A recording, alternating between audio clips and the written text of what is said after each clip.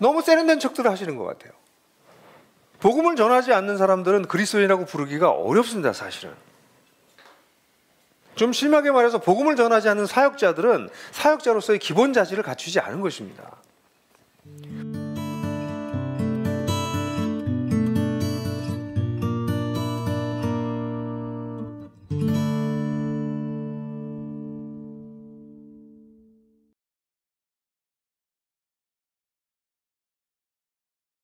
오늘은 우리가 좀 살펴볼 수 있, 보려고 하는 본문은 여러분들 잘 너무나 잘 아는 아마 성경에서 가장 유명한 본문이죠. 어, 니고데모 본문입니다.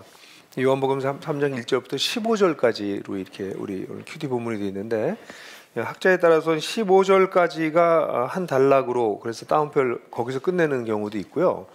이게 16절서부터 21절까지가 이어져서 어, 거기까지 가야 된다 이렇게 보기도 합니다. 어, 저, 어, 뭐 우리 매일 성경은 매일 성경이 분량 때문에 15절까지 나눈 것도 있고 신학적인 그런 이유 때문에 15절까지 나눌 수도 있는데 오늘은 21절까지를 그냥 다 보겠습니다. 워낙 우리가 잘 아는 본문이기도 하고 또 그 이후에 이어진 것이 또 중요한 본문이기 때문에 같이 보도록 하겠습니다. 저와 여러분들이 한 절씩 같이 교독하도록 하겠습니다. 바리새파 사람 가운데 니고데모라는 사람이 있었다. 그는 유대 사람의 한 지도자였다. 이 사람이 밤에 예수께 와서 말하였다. 라비님, 우리는 선생님이 하나님께로부터 오신 분임을 압니다. 하나님께서 함께하지 않으시면 선생님께서 행하시는 그런 표징들을 아무도 행할 수 없습니다. 예수께서 그에게 말씀하셨다. 내가 진정으로 너 진정으로 너에게 말한다. 누구든지 다시 나지 않으면 하나님 나라를 볼 수 없다. 니고데모가 예수께 말하였다. 사람이 늙었는데 그가 어떻게 태어날 수 있겠습니까? 어머니 뱃속에 다시 들어갔다가 태어날 수 없지 않습니까? 예수께서 대답하셨다. 내가 진정으로 진정으로 너에게 말한다. 누, 누구든지 어, 물과 성령으로 나지 아니하면 하나님 나라에 들어갈 수가 없다. 육에서 난 것은 육이요 영에서 난 것은 영이니라. 너희가 다시 태어나야 한다고 내가 말하는 것을 너희는 이상히 여기지 말아라. 바람은 불고 싶은 대로 분다. 너는 그 소리는 듣지만 어디에서 와서 어디로 가는지 모른다. 성령으로 태어난 사람이 다 이와 같다. 니고데모가 예수께 물었다. 어떻게 이런 일이 있을 수 있습니까? 예수께서 대답하셨다. 너는 이스라엘 선생이면서 이런 것도 알지 못하느냐? 내가 진정으로 진정으로 너에게 말한다. 우리는 우리가 아는 것을 말하고 우리가 본 것을 증언하는데 너희는 우리의 증언을 받아들이지 않는다. 내가 땅의 일을 말하여도 너희가 믿지 않거든 하물며 하늘의 일을 말하면 어떻게 믿겠느냐? 하늘에서 내려온 이 곧 인자 밖에는 하늘로 올라간 이가 없다. 모세가 광야에서 뱀을 든 것 같이 인자도 들려야 한다. 그것은 그를 믿는 사람마다 영생을 얻게 하려는 것이다. 하나님께서 세상을 이처럼 사랑하셔서 외아들을 주셨으니 이는 그를 믿는 사람마다 멸망하지 않고 영생을 얻게 하려는 것이다. 하나님께서 아들을 세상에 보내신 것은 세상을 심판하려는 것이 아니라 아들을 통하여 세상을 구원하시는 것이다. 아들을 믿는 사람은 심판을 받지 않는다. 그러나 믿지 않는 사람은 이미 심판을 받았다. 그것은 하나님의 독생자의 이름을 믿지 않았기 때문이다. 심판을 받았다고 하는 것은 빛이 세상에 들어왔지만 사람들이 자신들 자기들의 행위가 악함으로 빛보다 어둠을 더 좋아하였다는 것을 뜻한다. 악한 일을 저지르는 사람은 누구나 빛을 미워하며 빛으로 나오지 않는다. 그것은 자기 행위가 드러날까 보아 두려워하기 때문이다. 우리 다 같이 읽죠. 그러나 진리를 행하는 사람은 빛으로 나온다. 그것은 자기 행위가 하나님 앞에서 이루어졌음을 드러내는 것이다. 오늘 저는 여러분들하고 교회 공동체와 지도자의 주관심사 라는 제목으로 같이 말씀을 나누려고 합니다. 어, 여러분 주관심사 늘 드러나게 되어 있습니다. 그 사람의 말과 행동과 사는 걸 보면 그 사람의 관심사가 나오죠.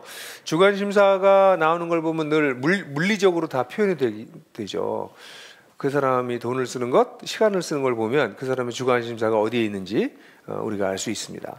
요한도요. 요한에도 관심사가 주관심사가 있어요. 요한은 복음을 이렇게 어, 쓴 것을 보면 앞부분만 이렇게 살펴봐도 요한은 잘 아시는 것처럼 예수님을 잘 설명하려고 어, 그가 예수님에 대한 관심이 가장 컸죠. 그래서 제가 요한과 함께 예수 찾기 뭐 이런 책도 썼지만 그 예수 요한 요한은 예수님에 대한 관심이 너무 컸어요. 그런데 어, 그렇기 때문에 일장을 보면 예수님이 나타나신 것에 대한 그 예수님이 누구신가, 예수님의 계시가 시작된 것에 대한 장엄한 서사를 시작하고 난 다음에 이장에 가자마자 이상하게 가나의 혼인 잔치가 나오고 가나의 혼인 잔치가 나오자마자 그 다음에 나오는 건 성전 척결이라고 하는 완전히 양 극단의 얘기가 확 나와요. 이 배치가 좀 이상하죠. 어, 의미가 있을 거라고 저는 생각해요. 가나의 혼인 잔치를 통해서 하나님께서 우리에게 주시는 삶이 이렇게 잔치와 같은 삶이고 어린 양의 잔치 마지막 날의 잔치를 상상할 수 있게 그래서 그 잔치 이야기가 먼저 나오지만 이 땅에 있는 어, 하나님의 백성들은 그 성전을 도적의 도적의 구렬로 만들어 놓은 상태. 그래서 이 상태를 여기를 회복할 것이다. 이 성전을 회복하여서 뭐 이런 그래서 하나님의 이장 전체는 하나님께서 어떤 일 예수께서 무슨 일을 하시려고 하는지에 대한 사실 큰 그림을 뻥 그려놓고 난 다음에요. 그다음에 3장, 4장을 가면 중요한 사람들이 나오는데 니고데모가 처음에 나옵니다. 니고데모를 통해서 거듭남에 대한 이야기를 합니다. 4장에 사마리아인 여인을 다루면서 이방인에게까지도 복음이 전파되는 이방인뿐만 아니라 죄인 중에 죄인이라고 여겨지는 여인에게도 복음이 전파되는 이 요한의 주간 심사가 앞부분만 쭉 봐도 쭉 계속 나갈수록 계속 나오죠. 그래서 오늘 그 부분 중에서 우리가 니고데모에 대한 이야기를 들어요. 특별히 어, 요한의 또 초대교회 또 예수님의 주간 심사는 당연히 한 사람의 회심이었습니다. 한 사람이 주님께 돌아오는 것. 이것이 그 후에 그 예수님이 그래서 이 땅에 오신 것이고 요한 사도가 이 긴 글을 쓴 것도 그 생명을 얻게 하기 위해서 뒤에 나오죠 요한복음을 쓴 이유가 이거를 읽는 사람들이 이 영생을 얻게 하기 위해서 이게 주관심사예요. 그래서 이렇게 장편의 글도 쓴 것이죠. 근데 그 중에서도 오늘 요한복음 3장의 이 부분은 요한복음의 아주 핵심이 되는 부분이고 이 부분에 오늘 읽었던 본문에 바로 이어서 3장 16절 같은 경우가 뭐 전 세계인이 아는 야구장에도 붙어 있는 존 316이라고 막 야구장에도 붙어 있을 정도로 유명한 본문이 여기 나오는 거죠. 이게 핵심적인 부분이라고 말할 수 있습니다. 근데 오늘 저는 여기서 여러분들하고 같이 우리 지도자들이 이런 주관 심사를 가지고 우리도 살았으면 좋겠다라는 마음으로 그럼 우리가 어떻게 어, 어떤 지도자로서 어디에 좀 주의를 두고 살아야 될 것인가? 그 다음에 어떻게 살 것인가? 이 두 가지를 나눠서 여러분들하고 나누려고 그래요. 첫 번째는 지도자들은요 회심의 본질을 꿰뚫어서 이해하고 있어야 됩니다. 회심의 본질을 이해하고 있어야 이 회심에 대한 어, 관심, 이 관심사를 어, 우리 사역과 우리의 삶에 잘 적용할 수 있겠죠. 첫 번째 회심의 본질을 이야기할 때 회심은 하나님께 돌아오는 건데요. 하나님께 돌아오기 전에 반드시 이야기해야 될 것이 뭐냐면 어디로부터 돌아오는 것인가입니다. 회심의 본질의 첫 번째는 놀랍게도 하나님보다는 처음에 시작하는 처음의 출발점, 죄가 깨어진 세상에 대한 절감, 깨달음 거기서부터 시작됩니다. 이 본문에 어, 이 니고데모가 어떻게 어, 회심해야 되는지를 뭐 뱃속에 들어갔다 나오니까? 뭐 이런 이해할 수 없는 거죠 이분이. 예, 니고데모가. 그렇게 성경을 많이 읽었음에도 불구하고.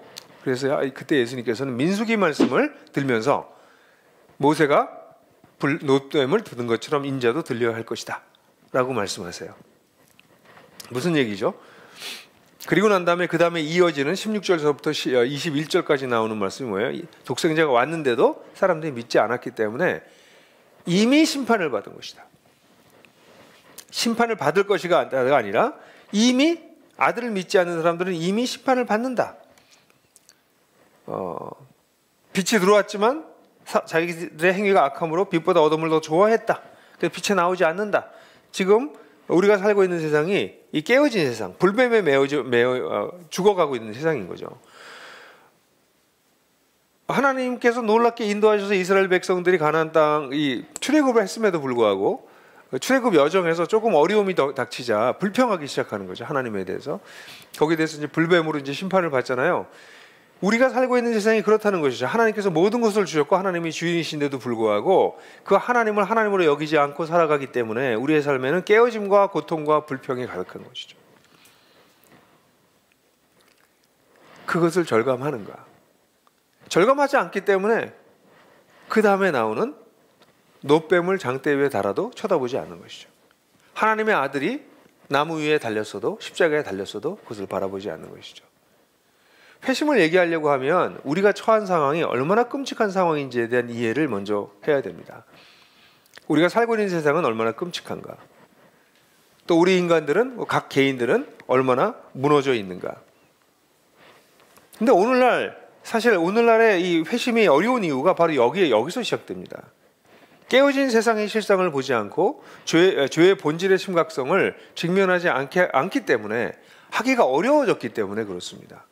놀랍지 않습니까? 코로나 상황에 대해서 인류가 정말 전 인류가 혼란에 빠지고 이것이 어쩌면 어, 인류가 어, 종말을 고하는 쪽으로 달려나가는 어떤 신호, 신호탄일지도 모른다는 생각이 슬쩍슬쩍 드는데도 불구하고 오늘날 사람들은 어, 그런 얘기를 하는 걸 뭐 이상하다고 생각하고요.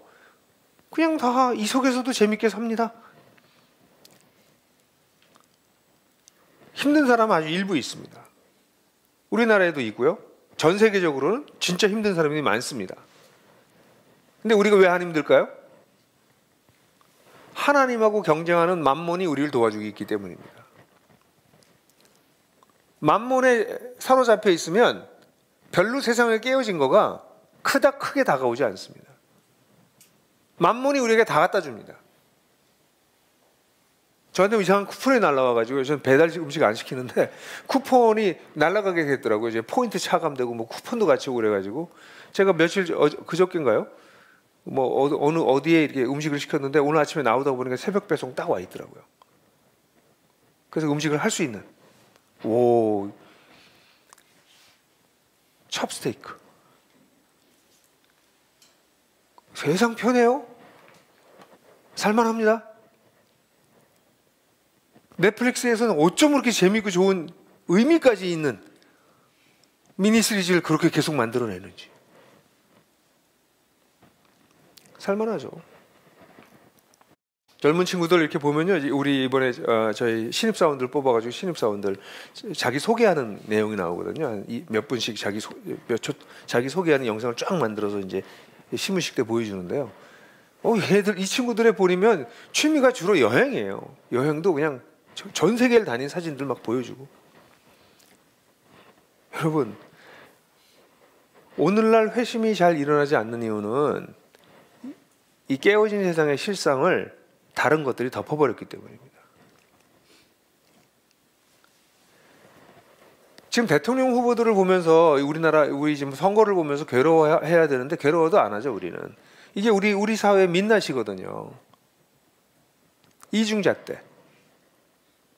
뭐 다 그런데 뭐.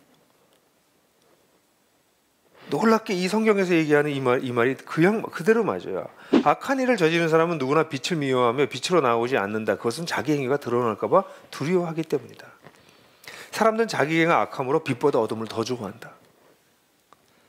여기서 어둠은 뭘까요? 하나님이 없는 세상이죠. 하나님 없는 세상을 더 좋아합니다. 우리는 거기에 지금 포위되어 있습니다.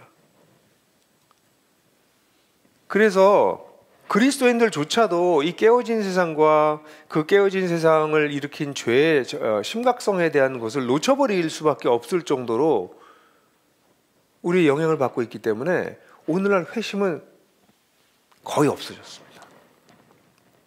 많은 교회에서 회심이 사라지고 있는 이유, 또 그리스도인의 삶에서 우리의 삶의 주변에서 하나님이 그토록 가지고 있는 주관 심사인 회심이 별로 안 일어나고 있는 이유가 우리 자신도 이걸 직면하고 있지 않은 것이죠. 우리 주변에 사람들이 불밤에 물려서 널브러져서 죽어가고 있다고 보지 않는 것이죠. 그냥 살만할 거라고 생각하는 것이죠. 예수가 없어도 괜찮을 거라고 생각하는 것이죠. 이게 심각한 것이죠. 그리스도인 지도자들은 이 회심의 본질을 첫 번째 이해해야 됩니다. 하나님이 없는 것이 어두움이고 만몬이 것을 어떻게 치장했다 할지라도 거긴 생명이 없다는 것. 그걸 첫 번째 절감해야 되죠. 그리고 나서야 두 번째로 이 회심의 아주 중요한 포, 어, 내용, 은혜로 주어지신 그리스도를 바라볼 수 있습니다. 불뱀에 의해서 물려서 죽어가고 있을 때 어리석기 끝이 없는 노뱀을 장대 끝에 달아서 올리면 저걸 쳐다봐라 그러면 낫는다 이게 말이 됩니까? 이게 무슨 주술입니까? 아닙니다. 이 속에 놀라운 하나님의 은혜의 경륜이 숨겨져 있는 것이죠. 아무것도 할 것이 없는 것이죠. 어리석어 보이는 일이죠. 십자가는 죄인의 상징이었습니다. 노뱀은 불뱀의 상징이었습니다. 어리석어 보이는 그 십자가에 예수께서 달리셨습니다. 죄인으로 인해서 죄로 인해서 다 죽어가고 있는 사람들을 위해서 죄의 가장 큰 대표, 죄인의 가장 큰 대표들이 죽는 십자가에 예수께서 달리셨습니다. 그래서 예수 그리스도를 보면 은혜가 이제 거기서 느껴지는 거, 깨닫게 돼요. 아, 저게 은혜구나. 내가 한 거 하나도 한 것이 없는데 저 어리석어 보이는 십자가에 그리스도께서 메시아께서 죽으심으로 나에게 생명을 주시는구나. 그거 깨닫게 되는 거죠. 최근에 우리 회심한 한 형제의 이야기를 들으면 자기는 오래 그 친구는 천주교 신자였어요. 평생을 천주교를 다녔는데 왜 예수가 십자가에 죽어야 되는지를 몰랐대요. 예수가 십자가에 위해서 죽었다는 걸 어릴 때부터 들어서 알았는데 왜 진짜 죽었어야 되는지 몰랐고 같이 복음에 대한 이야기를 나누게 될 때 아, 예수 그리스도가 이렇게 소중한 분이군요. 나중에 기도하는데 바로 떨면서 울더라고요. 남자가 40대 중반의 남자가 은혜가 다가온 것이죠. 자기에게 아 그리스도가 은혜구나. 그래서 은혜로 거기 달리신 거구나. 그걸 깨달은 회심은 이렇게 일어납니다. 회심은 자기가 곤경에 처했다는 것. 사실 인류와 인간 사회가 공경에 처했다라고 하는 것을 절감할 때 회심이 첫 번째 출발점이 시작됩니다. 저는 사실 어, 과도하게 그렇게 생각하는지 모르겠지만 저는 인류가 거의 끝났다고 생각하고 있어요. 제가 제가 죽기 전에 이 괴멸하는 걸 볼지도 모른다는 두려움이 있어요. 뭐 제가 그렇게 뭐 선지자적으로 얘기하는 게 아니고요. 과학자들의 얘기를 들으면 과학자들은 다 그렇게 얘기해요. 이런 끔찍한 그런데도 불구하고 마지막 날까지 장가가고 시집가고 잔치했던 노아 때의 모습과 뭐가 다른가? 결국 똑같이 판박이가 돌아가는구나. 여러분 돈 룩업이라는 영화 보셨나요? 넷플릭스에 나와 있는데 꼭 보십시오. 이 해성이 닥쳐와서 이 지구가 멸망하게 된 걸 알아차린 천문학 어, 천문학자들이 그걸 알리려고 하는데 어, 일어나는 이야기들 약간 코미디 비슷하게 그렸는데 시사점이 너무 많아요. 언론과 정치와 일반 대중들, 그 다음에 비즈니스 이게 어떻게 돌아가고 있는지. 어, 그 촌천설이라는 내용이 있어서 이거 가지고 설교를 해야 되나 할 정도로 진짜 우연히 본 영화 치고서는 깜짝 놀랐습니다. 여러분, 우리가 살고 있는 그런 세상입니다. 그래서 회심이 회심이 별로 안 일어나요. 이런 끔찍한 세상 속에 완전히 속고 있고 그러니 하나님의 은혜는 은혜가 아닌 것이죠. 거기다 한 걸음 더 나가서 이 회심이라고 하는 것은 철저히 세 번째 중요한 요소는 첫 번째는 우리의 상태를 절감하는 것, 두 번째는 하나님의 은혜를 제대로 발견하는 것이라면 세 번째는 이것을 가능케 하시는 성령님의 역사를 의지하는 것입니다. 이 본문에 예수께서 말씀하실 때 어떻게 거듭날 수 있습니까? 어떻게 위로부터 다시 태어날 수 있습니까? 라는 아, 니고데모의 이야기에 예수님께서는 다시 태어난다 된다라고 얘기하고 그걸 어떻게 뱃속에 들어갔다 나오니까 뭐 이런 질문하니까 예수께서 말씀하신 것이 이게 성령께서 하시는 일이다. 회심은 성령께서 하시는 일이다. 그런 얘기입니다. 성령께서 바람이 불 때 어디서 와서 어디로 가는지 모르지만 바람에 실체가 있지 않느냐. 성령께서 그렇게 일하신다. 회심은 진짜 성령께서 일하시는 것 같아요. 저는 어, 사실 전도를 할 때마다 제가 느끼는 게요. 와 이건 도대체 이해할 수 없는 데서 뻥 터져요. 어떤 때 예상이 됩니다. 아, 이제 이 사람이 이렇게 해서 예수를 믿겠구나 하고 예상이 돼서 예상대로 되는 경우도 있지만 어떤 경우에는 전혀 다른 데서 뻥 터져요. 그래서 저는 복음을 전할 때 사람들을 이렇게 밀어붙이지 않습니다. 이제는 옛날엔 밀어붙였어요. 성령께서 하시도록 그냥 기다립니다. 최근에 한 친구는 정말 약간 이렇게 어, 회의적으로 대했어요. 처음부터. 근데 이야기를 쭉 해나가다가 복음을 다 듣고 나더니 처음 한 말이 오 기독교의 얘기가 이게 말이 되네요. 이게 앞뒤가 다 맞네요. 그, 그런 얘기를 처음에 하더라고요. 근데 얼마 듣더니 복음을 듣더니 한 소리가 이거 기독교가 진짜라면 이걸 받아들인다는 것은 혁명이겠습니다. 이렇게 얘기하더라고요. 그러더니 하는 소리가 아 이건 제가 가만 생각해도 제가 결혼한 것보다 제 인생에 더 큰 혁명인데요. 이걸 제가 만약 받아들인다면 그 이어서 했던 말이 제가 잊지 못하겠어요. 그리고 한 말이 아니에요. 이건 제가 태어나는 거에 맞먹는 혁명적인 일입니다. 이러더라고요.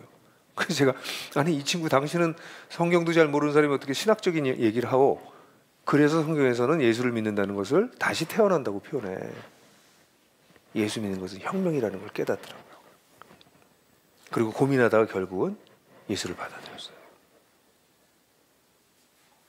이번에 시무식 영상에 그 친구 잠깐 나왔는데 transformation을 얘기하면서 그 예를 들면서 여러분들이 어떤 종교적 경험이나 이런 걸 통해서 transformation 경험들이 있지 않냐고 얘기를 하다 예화로 그걸 들었는데 자기 얘기를 하고 있어. 깜짝 놀랐어요. transformation, 디지털 transformation 뭐 이런 얘기를 하다가 transformation 설명하다 그런 얘기를 하더라고. 어 성령께서 놀랍게 일하신다. 굉장히 똑똑한 친구거든요. 똑똑하건 똑똑하지 건 상관이 없구나. 성령께서 역사하신다. 어떤 사람은 반대로 이 꼭 믿을 것 같았는데요. 끝까지 안 믿는 사람도 있어요. 잘 모르겠어요. 회심은 철저하게 성령께서 하시는 역사입니다. 그래서 성령님을 의지하고 성령과 동행하면서 누릴 수 있는 놀라운 일인 것이죠. 그런데 이게 세 가지 제가 얘기했어요. 그래서 우리의 깨어진 세상과 죄에 대한 절감, 그다음 우리가 은혜로 주신 그리스도를 바라봄, 의지함. 네, 세 번째가 이 일을 실제로 일으키고 계시는 성령님을 의지하는 것. 이게 회심의 아주 중요한 요소들입니다.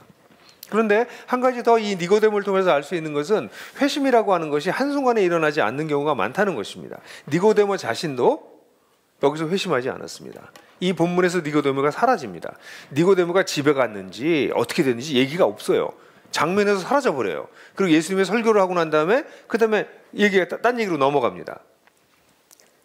니고데모는 어떻게 됐을까요? 이건 요한의 문학적 기법이에요. 왜냐하면 이, 요, 어, 이 아시는 것처럼 요한복음 19장에 니고데모가 다시 나와요. 또 전에 예수를 밤중에 찾아간 니고데모도 이거 굉장히 예, 밤중에 찾아간 니고데모도 이게 뭐냐면 앞에 내가 복선 깔았지 그 복선 여기서 나오는 거야 이 얘기하는 거예요. 밤중에 찾아간 니고데모도 모략에 치명을 섞은 것을 100근쯤 가지고 왔다. 아리마대 요셉과 함께 예수님을 장례, 장례를 줘준 니고데모가 나옵니다.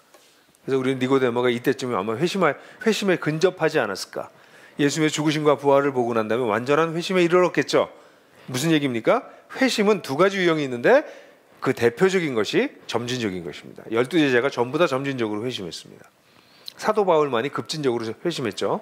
제가 늘 얘기하는 건 70% 정도가 점진적으로 회심합니다. 한 30% 정도가 급진적 회심을 합니다. 이렇게 회심의 두 가지 유형이 있다는 것을 이해해야 합니다. 자, 이렇다면 이 정도를 여러분들 이 회심에 대해서 지도자가 이해했다면 네 가지예요. 제가 얘기한 건 아주 간단하게 네 가지만 마음에 좀 품었으면 좋겠다. 깨진 세상과 죄의 본질, 은혜로 주어 주신 예수 그리스도, 성령의 역사, 회심의 두 가지 유형, 이것만 마음에 둔다면 이제 이 회심을 주관심사로 중심에 든 교회와 공동체의 지도자는 뭘 해야 될까 하는 얘기를 어떻게 그럼 이 회심의 회심적 삶, 회심의 사역을 일으키는 회심의 열매를 일으키는 삶을 살 수 있을까? 우리 공동체를 어떻게 이끌까? 첫 번째, 우리 공동체 안에 들어오는 모든 사람들에게 하나님 나라의 복음을 선명하게 들려주십시오. 이게 첫 번째 우리가 해야 될 일입니다. 이건 나들목의 출발점부터 그렇게 했습니다.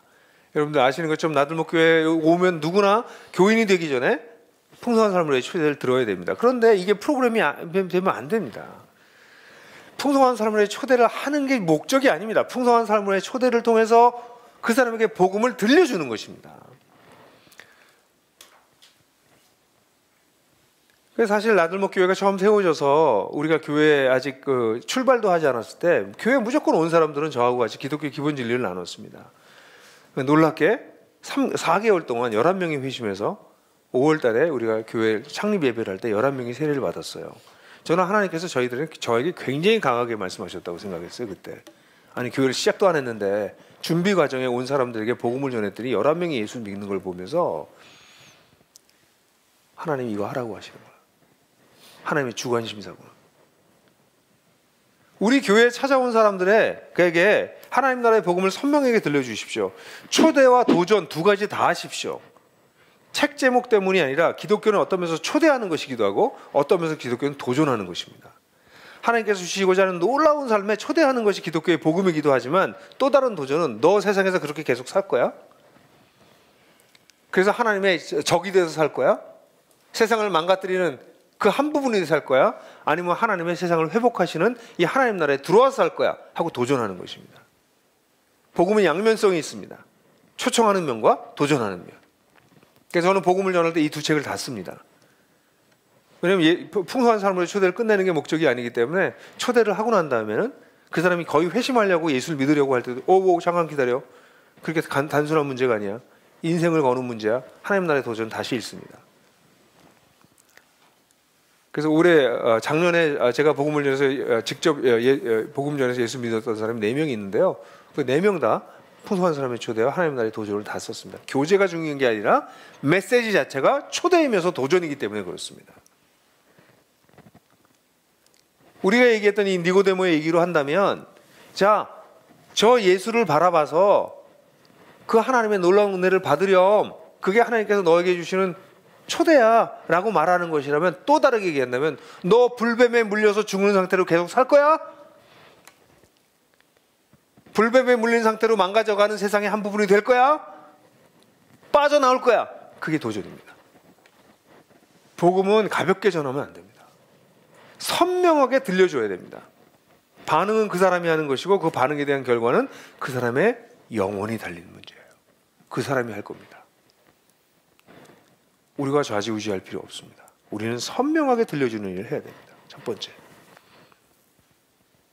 그래서 제가 간절히 부탁하는 것은 교회에서 풍성한 사람으로의 초대를 프로그램으로 사지 않도록 제발 부탁드립니다. 그건 손가락입니다.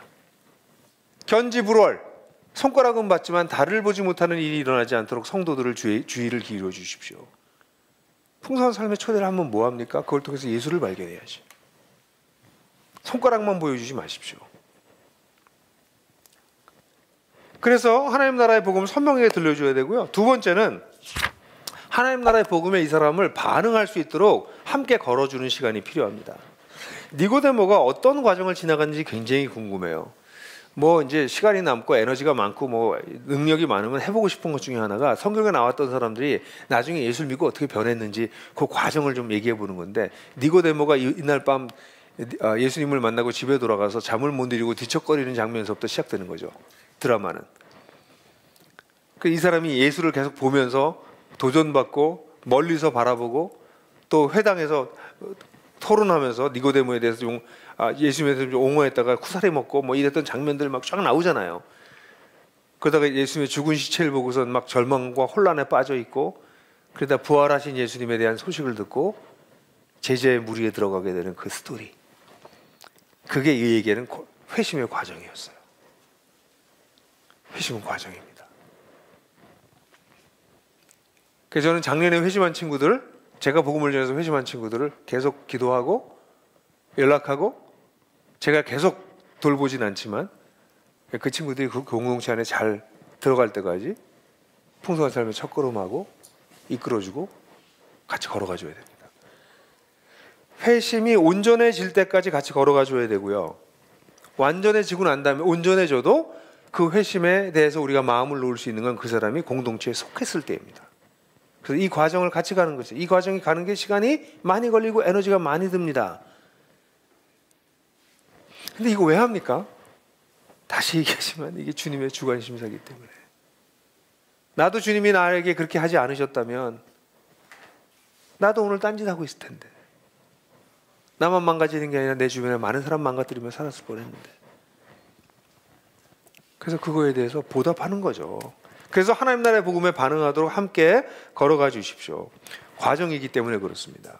그래서 그 사람의 구원이 그 회심이 온전해질 때까지 지켜봐 주는 것이 필요합니다. 회심은 계속되는 건 아닙니다. 회심은 어느 시점에 끝나요. 그리고 난 다음에 제자의 삶을 사는 것입니다. 그래서 이 회심이 온전해질 때까지 지켜봐주고 따라가 주는 것 그것이 우리에게 필요합니다. 여기서 공동체가 중요한 것은 어, 너무나 중요하죠.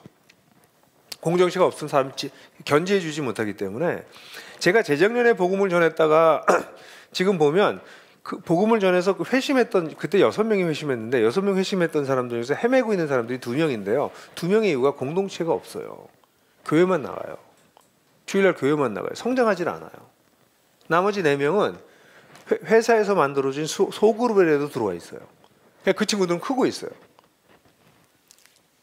근데 나머지 두 명은 뺀질거리고 분명히 그때 회심한 것 같아. 다시 주님께 돌아온 것 같은데 다시 원상으로 돌아갔어요.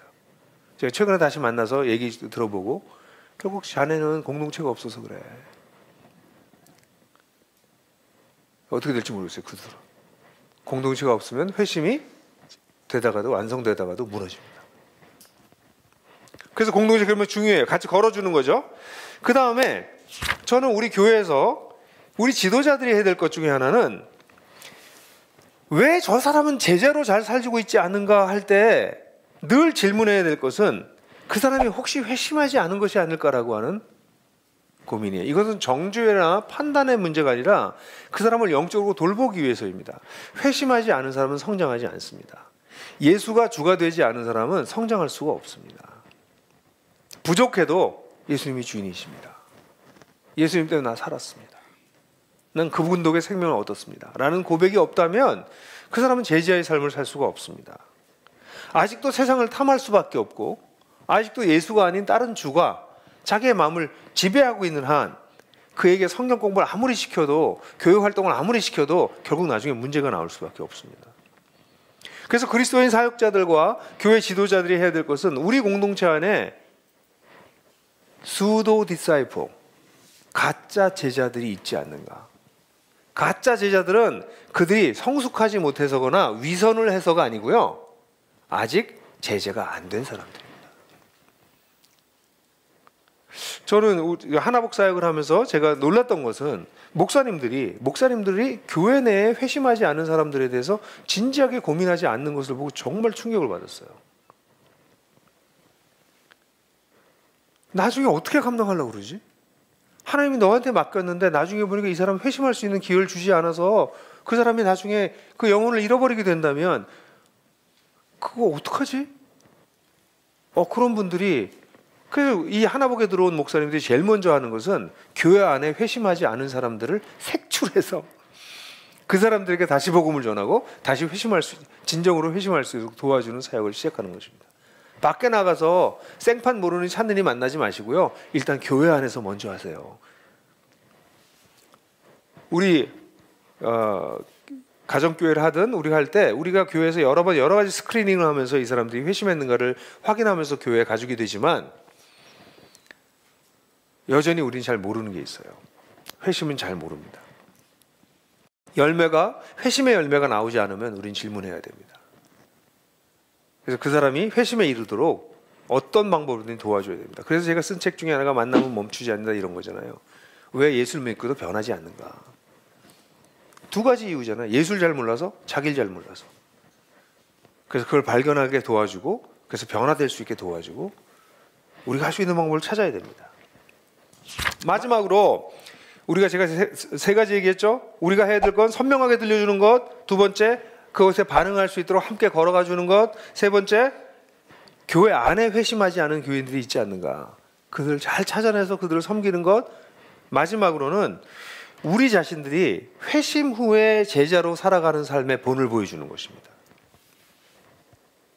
예수를 믿고 난 다음에 어떻게 변화되는지를 모든 영역에서 균형 있게 성장하는 걸 보여줘야 되지만 이건 시간이 많이 걸리는 거예요. 근데 제일 먼저 보여줘야 될 두 가지가 있어요. 모든 그리스도인들이 자기 뒤따라오는 사람들에게 보여줘야 될 두 가지가 있는데요. 그 중에 하나가 하나님과의 인격적 관계가 시작되는 것을 보여주는 겁니다. 하나님과 관계를 맺는 것이 어떤 것인지를 우리 따라오는 사람들에게 보여주는 게 제일 중요합니다. 그게 없다면 또한 제자라고 말할 수도 없는 것이죠, 사실은. 그러니까 내가 예수를 만나서 예수를 어떻게 만나는지를 보여주는 것이 첫 번째라면 또 한 가지는 복음을 전하는 것입니다. 저는 복음 전하는 일이 많은 그리스도인들의 순위에서 뒤로 밀려나는 것에 대해서 저는 동의할 수가 없습니다. 그리스도인 삶에서 가장 중요한 것이 하나님과의 관계라면 두 번째 중요한 것은 복음 전하는 것입니다. 너무 세련된 척들을 하시는 것 같아요. 복음을 전하지 않는 사람들은 그리스도인이라고 부르기가 어렵습니다, 사실은. 좀 심하게 말해서 복음을 전하지 않는 사역자들은 사역자로서의 기본 자질을 갖추지 않은 것입니다.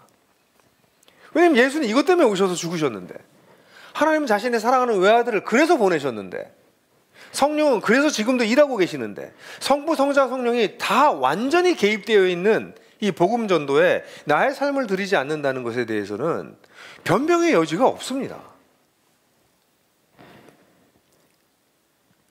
그래서 우리가 가장 본을, 본을 보여야 될 건 뭐냐? 내가 하나님과 관계를 맺고 하나님을 사랑하고 하는 것, 뭐 내 인격이 변하고 내 가정이 변하고 내 돈 쓰는 게 변하고 다 많이 시간이 걸리지만 복음을 전하는 것은 성령께서 하시는 일이기 때문에 증인으로 사는 삶, 끊임없이 복음을 전하기 위해서 시간과 에너지를 쓰는 삶을 우리가 본을 보여야 됩니다.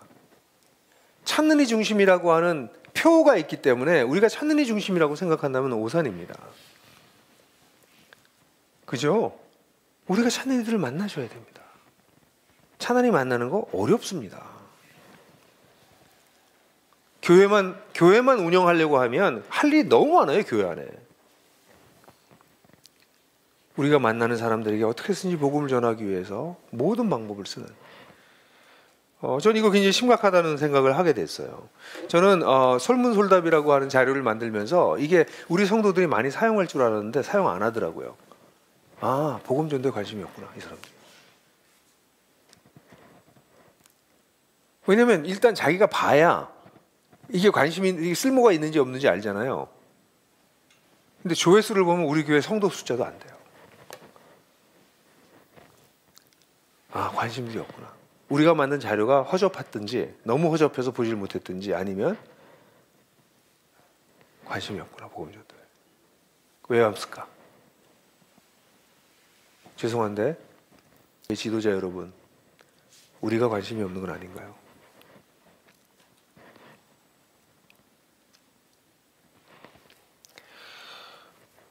저는 밤에 찾아온 니고데모 같은 찾는 이들이 우리 주변에 여전히 있다고 합니다. 여전히 있습니다. 그들에게 복음을 전하는 일을 위해서 어떻게 시간을 쓸 건가?